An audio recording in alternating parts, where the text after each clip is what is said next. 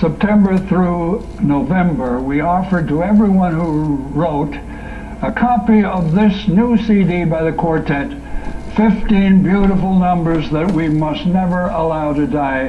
Many, many of you have received a copy. Also, we offered this booklet of 28 television talks on the outstanding personalities of the Bible. And again, hundreds of you have received copies. Those are still available if you haven't received one.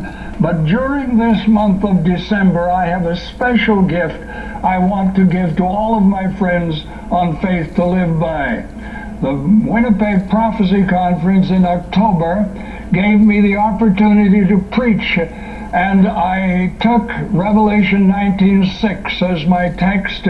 The committee is encouraging me to make this available to every one of you who wants one.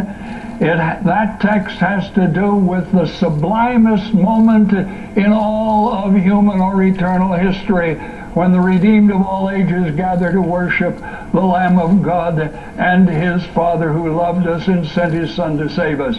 Ask for a copy of the prophecy sermon when you write. I'll rush it to you. It's my special gift to you during this month of December. Thank you for caring enough to share. May I count on a letter from you this week? When you write, all the address you need is simply Faith to Live By, Box 426, Winnipeg, Manitoba, R3C2H6. The male quartet now, the blood will never lose its power.